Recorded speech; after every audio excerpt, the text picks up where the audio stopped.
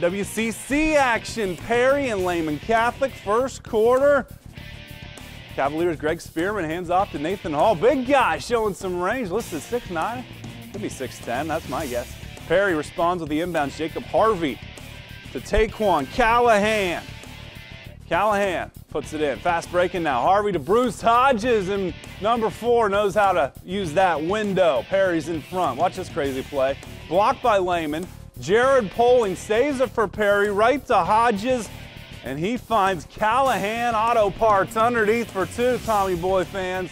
Perry looking to run away with it. Lehman, though, staying with it. John Husa, he drove the football field often, drives the lane here, but Perry wins a six-point game on the road, 70 to 64. Very nice NWC